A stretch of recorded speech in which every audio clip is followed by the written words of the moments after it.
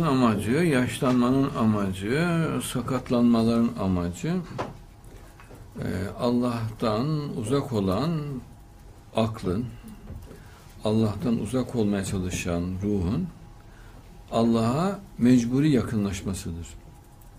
Allah'ın bir zorlamasıdır. Yani çünkü insan aklı zayıf olduğu için zorlamaya ihtiyacı vardır. Hastalıklarla zorlanır. Hastalıklarda derhal Allah'a yaklaşır. Derhal sakatlıklarda derhal yaklaşır, yaşlılıkta derhal yaklaşır Ee, ve hiç sorun çıkartmaz. Ee, o olmasa Allah'tan uzak olma istekleri oluyor. Halbuki Allah'tan uzak olduğunda zaten her şey kaybediliyor. Sevgi, güzellik, estetik, hayat, cennet, cehennem her şey kaybedilir. Mahvolur insan.